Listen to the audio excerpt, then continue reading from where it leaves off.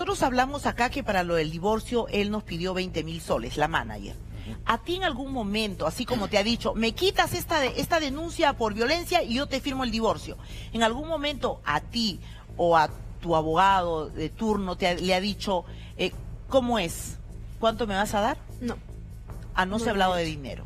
No lo ha hecho, pero sí cuando hablamos con la abogada de, de él, dijo, pero ¿quién va a ver los gastos? Porque yo no voy a ver nada, ni el señor. O sea, él no quiere hacer nada. Ni en la conciliación gastó ni un sol.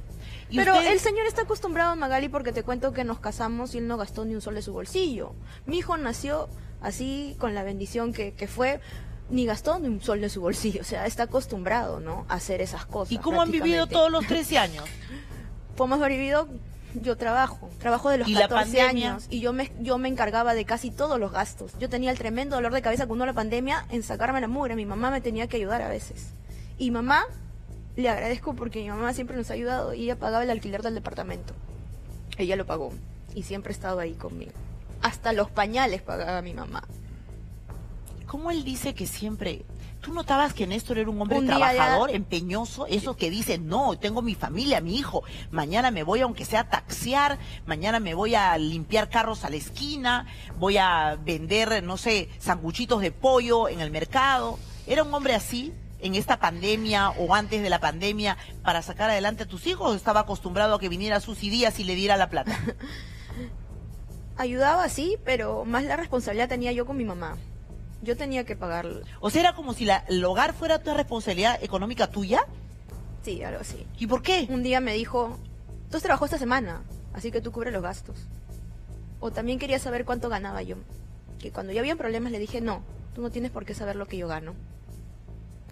Y, yo misma seguía trabajando y seguía, y como lo hago ahora, ¿no? Como lo hago ahora y lo sigo haciendo. ¿Y él qué hacía, por ejemplo, en pandemia? ¿En la casa?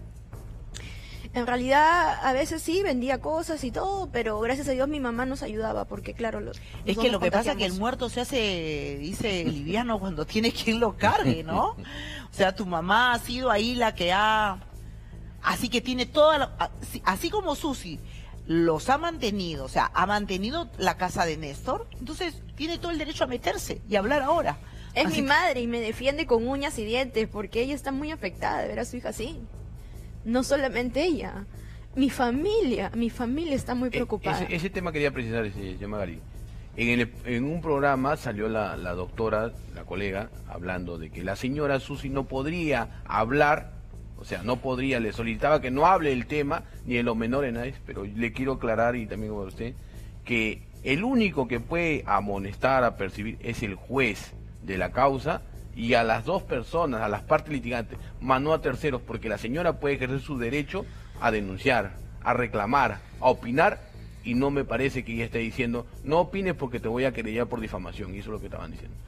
¿Alguna vez en estos años, por qué nunca le contaste a tu mamá que te habían golpeado? Bueno, cuando pasaron los problemas y cosas que pasaban, yo no quería decirle porque no quería preocupar a mi mamá. No quería preocuparla. Hasta que recién este año le conté las cosas. Le conté las cosas porque el 24 de diciembre que yo me fui a su casa, que quería irme días antes, pero mi mamá llegaba de viaje, estaba con una gripe y pensaba que estaba contagiada. No quería exponerme. Y yo esperé hasta el 24 para irme. Y ahí es donde yo le conté las cosas que pasaban.